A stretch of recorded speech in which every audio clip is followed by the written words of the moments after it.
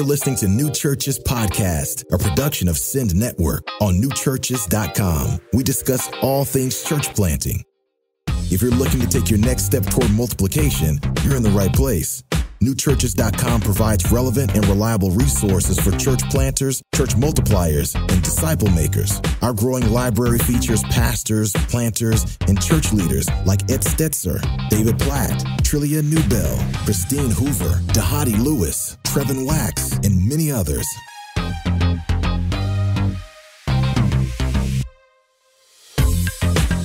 Hey, welcome to another episode, uh, edition episode. We need like a type, like a like a exciting moment of New Church's podcast history because we have the amazing Trevin Wax on. And so and whenever we have Trevin Wax on, it's like a marquee episode. We actually like like people that the downloads go way up, like people swoon. I mean, it's just it's all no one's true. believing that, Ed. No, that's one's true. believing That's that. true. But you know what? What's cool is is we get to talk today about something. You know, we, we have this church planting podcast, and we talk about super practical things like, you know, how to how to rent a movie theater, and probably episode three hundred or whatever.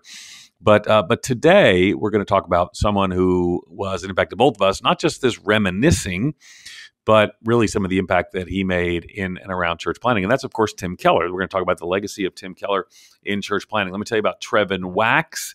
Trevin and I have known each other for a long time. He, uh, we, we had, we have some funny trips, some funny stories on the road that we won't share with you. But Trevin's vice president of research and resource development at the, for the Send Network, and he teaches some for me at where I was at Wheaton, and who knows if we'll let you come teach for me at Talbot. We'll have to see how it works out because I got questions about you.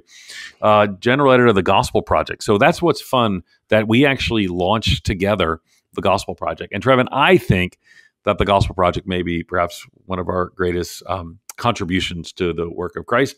Um, you've taught on mission and ministry for at Wheaton, I mentioned, and your most recent book is called The Thrill of Orthodoxy, and you got about four others that aren't as cool as that one. But um, but good job. By the way, I thought my favorite my favorite book of yours is This Is Our Time because I use that. Um, I use that and I quote that in a few places. Uh, and okay, so let's jump into our conversation because you know one of the things that you know everyone sort of had their tributes. You had a tribute. I love the you you posted your shelf of Tim Keller books, and I retweeted that. I love that. Um, and by the way, just so people know, like Trevin is part of the Keller Center for Apologetics as well. Tell us a little bit about that, Trevin. Yeah, that's a, a center that just recently kind of got off the ground. It's a it, it's a it's a group. There's I think 24 of us or so who have been involved in some kind of cultural apologetics work over the years, and people from you know some that are pastors, some that are scholars, um, people that that come together to talk about how it is that we reach a post-Christian Western world. And so we had uh, you got people from Australia, people from uh, uh, the UK and whatnot. And we had actually, and I mean, this wasn't really public knowledge because I, I it wasn't a publicized event, but uh, we all of the fellows met in New York City at the end of April and uh, got to to to to spend a lot of time together talking about things, collaborating on things and, and whatnot. And so it's this kind of group that, you know, not all the fellows agree on everything or they but they're all wanting to reach the West. They're wanting to provide resources for the church. And so they're coming together to basically everyone's there to to sharpen each other's thinking and uh, to kind of push and figure out where we can collaborate and whatnot. And we actually did, we got to spend a, a, a an hour with Tim. It was he was coming out of the hospital after some some pretty intense treatments, and so it was uh, via Zoom. But we had a really really good time with him, and it was just that was you know about three weeks before before he died. So uh, it, that that meeting itself has you know uh, added significance, I think, to to those of us that were there. But Yeah. um, yeah, but that, it's just that what's interesting, Ed, is that's just one element of Tim Keller's ministry. There's so there, we, we could talk weird about him about as author, pastor. We could talk about him as apologist. Yeah. But I know we want to focus on church planting, but that it's just there's so many different ways in which Tim influenced evangelicalism. Well, the- and that's in the- in the that's one thing's fascinating. So when we were, um, I did, and we'll put we'll put the show notes if people want to listen to this. I did a radio show with Collin Hansen um, the I guess it was the day after he died. Yeah, he died Friday morning, and my radio show was live Saturday morning. And of course, we'll link to your. And for those who are listening, you can go to the show notes and you can find the link to Trevin's article. Uh, we'll link the church leaders article that that that we did, and uh, and my radio show with Collin Hansen. But one of the things, like, so Collin is he, you know, of course, in my in his mind, I mean, he's he recognizes that that that, that Tim's all those other things, but you know, I mean, he, his book covers the, the broad field. But you know, I mean, Collin's Gospel Coalition. That's where you're connected, the Gospel Coalition. So there's like a whole world of Tim Keller co-founding the Gospel Coalition. And you know, I'm not engaged or involved in the Gospel Coalition, um, but so my whole world related to Tim Keller was around church planting and missiology. And you could like you could like spend like a whole lot of time in that world and not know of Tim's uh, you know really enthusiastic uh, engagement of uh, C.S. Lewis you know, or Tolkien, you know, and so all all these things. So again, multifaceted individual.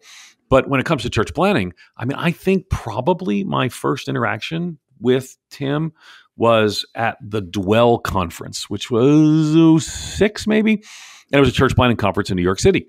And uh, and Tim and Tim, it was so funny because Tim and I sort of sat in the back right. It was at this old. It was this church that now was kind of renovated into a into a hall, which was you know just now rented for for meeting space.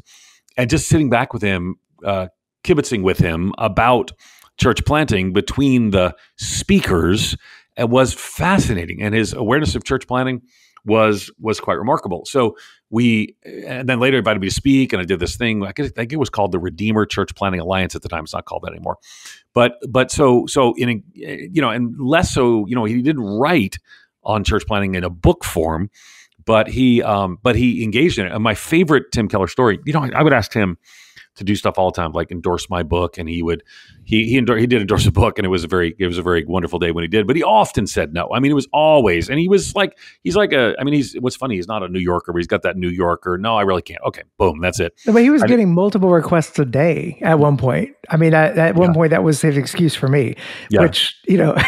was And like, he, and but if you really like one of his Keller Center, and he turns you, you down really sometimes. well, no, but I mean, he did. He did join me on my podcast on reconstructing faith. The last episode that we recorded, uh, he was That's there cool. for that. So, I mean, he did. He did. He was very generous with his time, and and, and the- Okay, and but I got to tell my funny the- story. Let me finish my funny story. Okay, okay, sorry. sorry. So, so I get probably nine out of ten times I get a no. Probably, you know, you probably do better, but nine out of ten times I get a no. But you know, one time I endorsed, uh, I think my church planting book, and I was like, wow. So I email him one time, like this rando email to like it just cut and paste, and it's clearly cut and paste. Dear sir. Uh, dear, you know, ma'am, we are working on a church planting research project, and we're looking for 30 church planting experts. So just some a panel. So it's a random panel.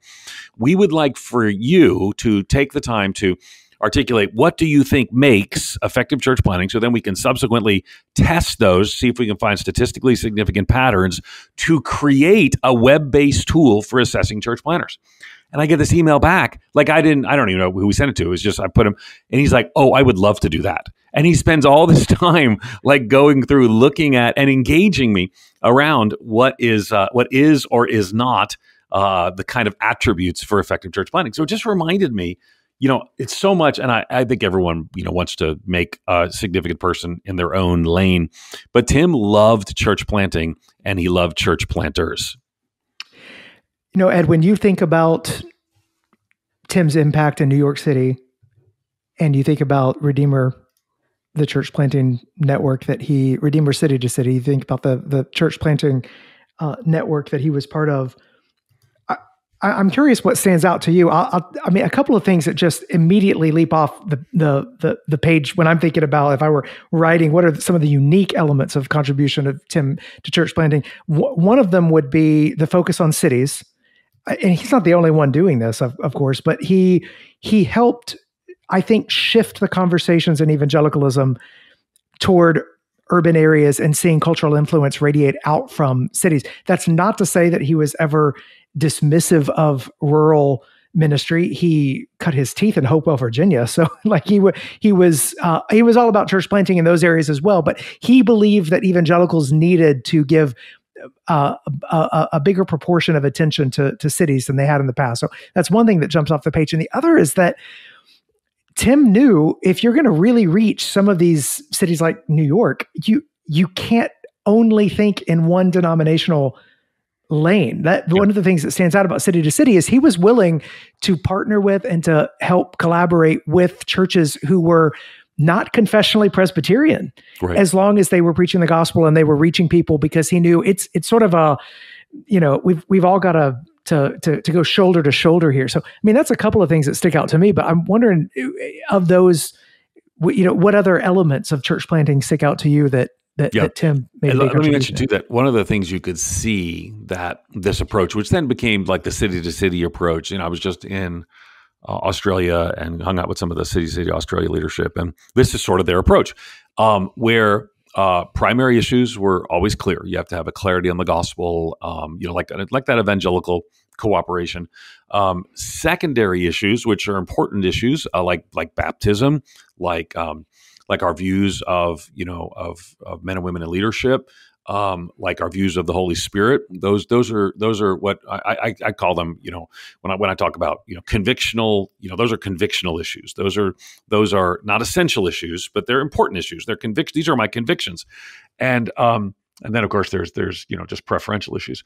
But one the time I was there, like back in the day when it was Redeemer Church Planting Alliance or something like that you could see it in the day. So in the morning, they had me spend time with confessionally Presbyterian church planters who were at Redeemer that were going out. It was great. It was great group, great group. Um, PCA, I think all PCA, maybe somebody, maybe a near PCA person like an Anglican church in North America. And then the second one was sort of like their their friends. They were they were mostly reformed.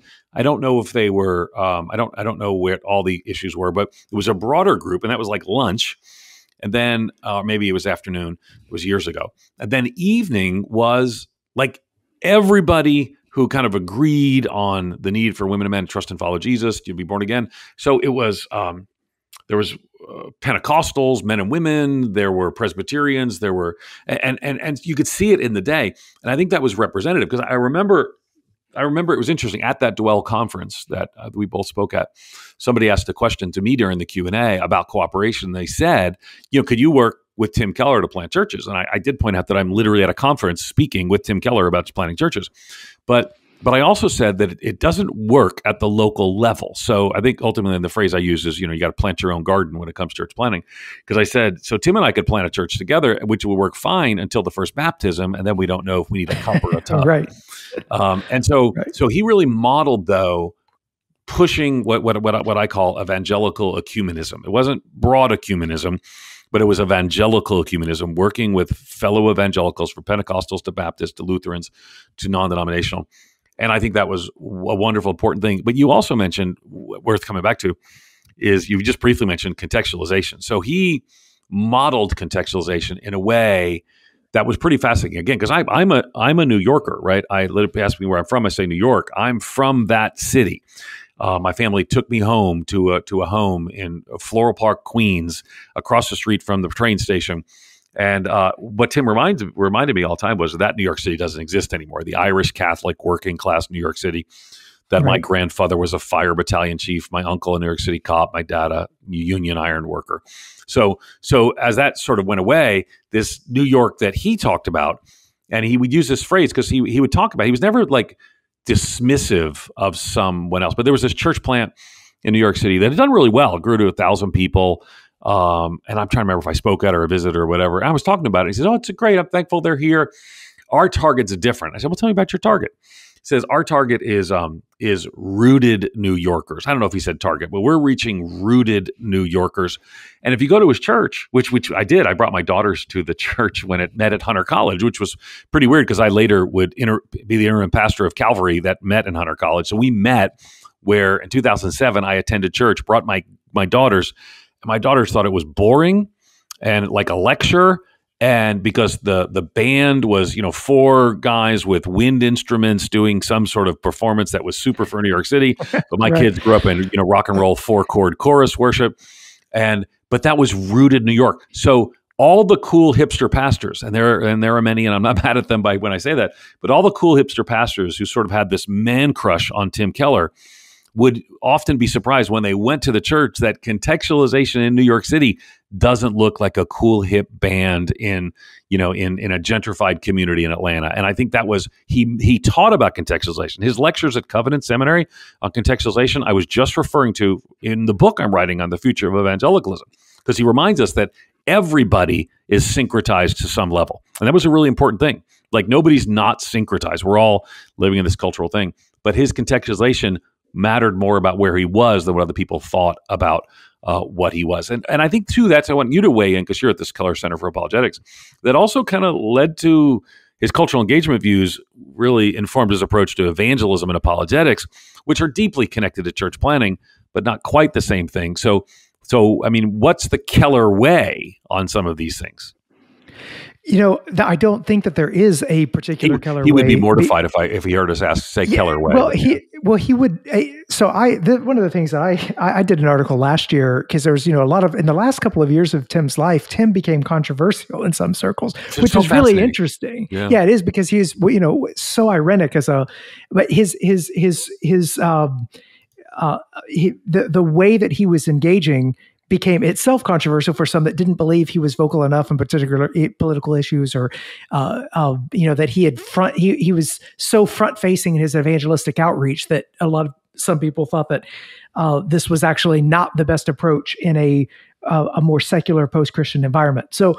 Uh, which, which is interesting because Keller was sort of ahead of the curve and actually seeing people come to faith in a more post-Christian secular environment than what has become for the rest of the country, or for much of the rest of the country. totally. Um, so, but but I did I did an article last year called "Contextualizing Tim Keller," in which I was basically one of the things that stuck out to I, me. I didn't read that article. Where do you do you like have a blog or something?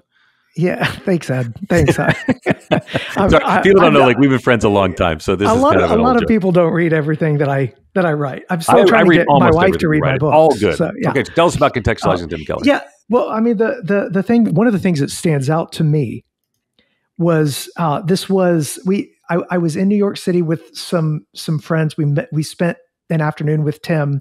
Uh, this was the before the pandemic, so this was right before he was diagnosed with, with cancer. Um, and we were talking about preaching. We were talking about teaching. We were talking about ministry in the city and and what what what, what the needs were. And Tim had like this long list of well, we need this group doing this, we need these people doing that, and and his concern was that everybody had their own medicine that they were in love with, and we're like we're we're constantly belittling other people's medicines for an ailing church and for an ailing culture, right? Um, but one of the things he said was uh, we were talking about his sermons and preaching and whatnot, and he said he would not recommend that a church planter to the city kind of take his way of preaching um, and replicate it. And I think some of some of us in the room were a little surprised because I think we felt like, wait, you're you're saying don't imitate you, and Keller's saying no. The way I was preaching in the you know in the in the 90s in New York City in early 2000 like the culture is is different already.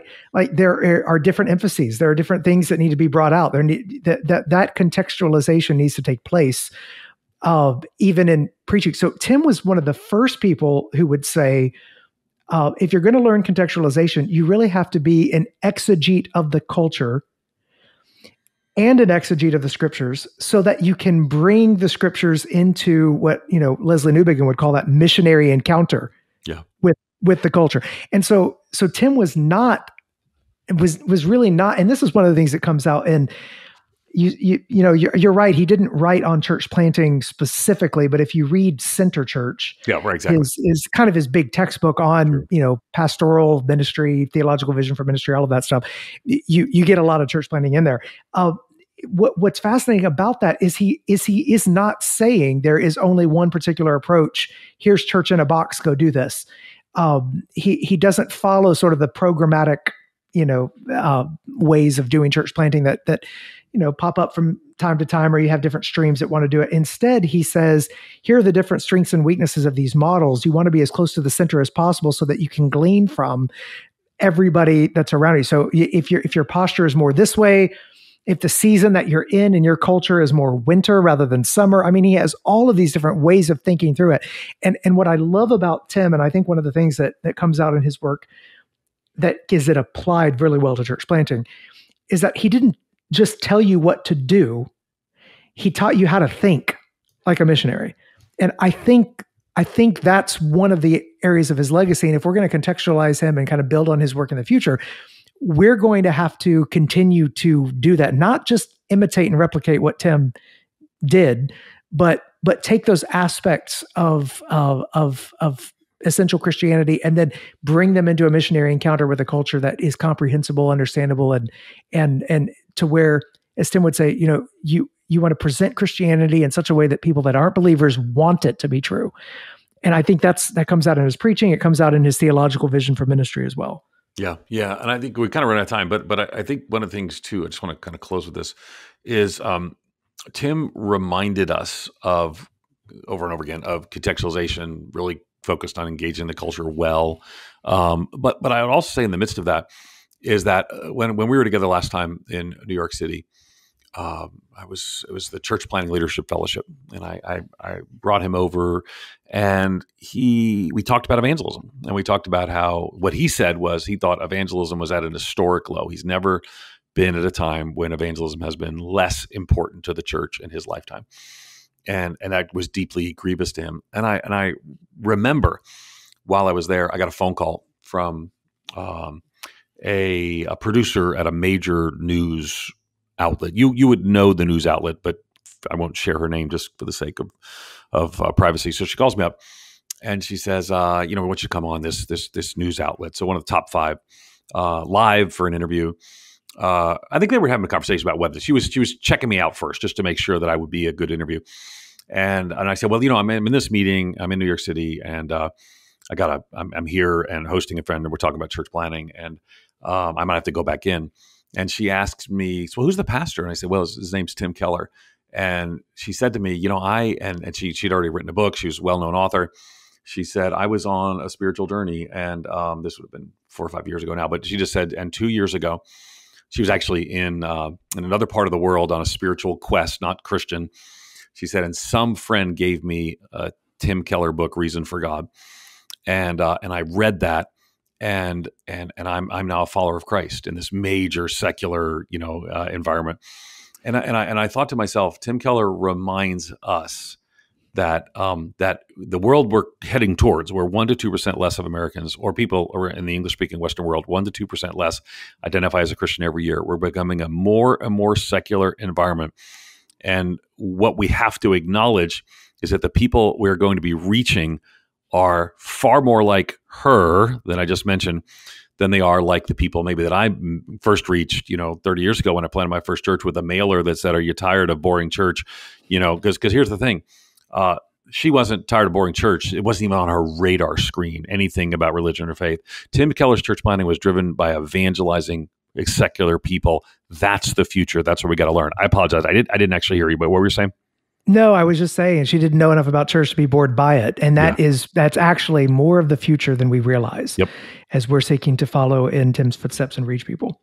Tim Keller, uh, fascinating conversation. I, I I said it was like a you know, spiritual father for many, uh, and look to him as a as a as a spiritual father to learn and to grow. And he will be missed. And uh, I hope that his legacy uh, includes and does provoking, as the writer of Hebrews says, provoking one another, loving good deeds, including in areas of church planting, contextualization, and more. Thanks for listening to this episode of the New Churches Podcast.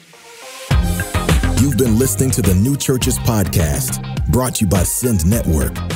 If you like what you heard, take a few minutes to rate and review us or share this episode with a friend.